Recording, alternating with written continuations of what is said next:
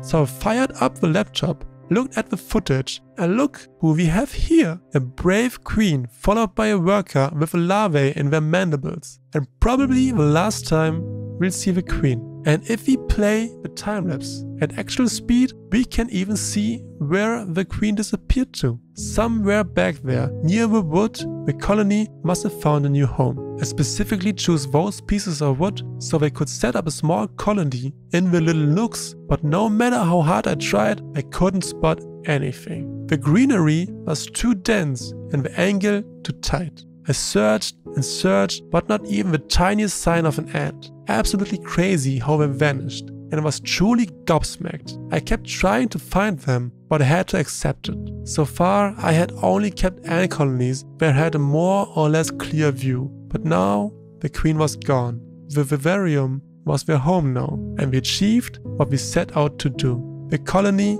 feels comfortable, and so we feel for them. It's a shame we can't see them now, but they will grow and continue to surprise us.